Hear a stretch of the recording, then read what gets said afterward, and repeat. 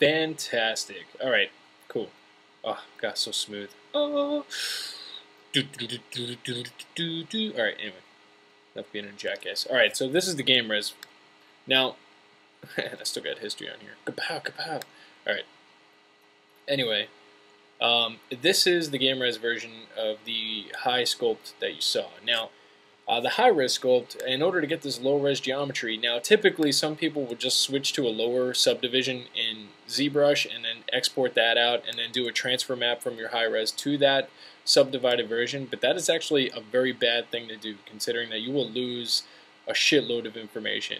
Um, your, your detail will not look good at all. Um, this is uh, straight on. Like obviously, um, you know, my edge flow is not the greatest, but uh, I laid out each and every one of these polygons by hand for the entire creature. So it took me quite a bit of time, but overall, uh, the end result was pretty good. Um, yeah.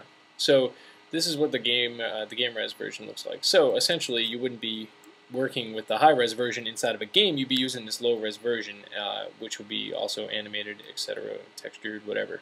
But uh, you would then transfer the amount of detail onto here. See, like high res looks like this. Kapow, sucker! Boom. You can tell. Look, look how dense it is. Hopefully, it won't crash Maya. Look at that. Bam. That's what happens. That's how dense it is. All those tris. You're talking, uh, you know, one million seven hundred and one thousand six hundred or uh, 68 tris. That's a lot of triangles.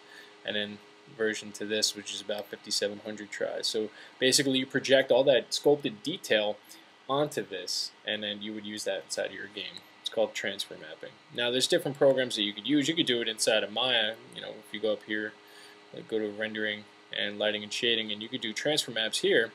Um, or you could use uh, third-party software, which I definitely recommend. Um, XNormal is probably the best out there. Uh, if anybody disagrees with me, I don't care. Uh, XNormal is awesome, um, and uh, it's never failed me. So, um, yeah, this is the game res version.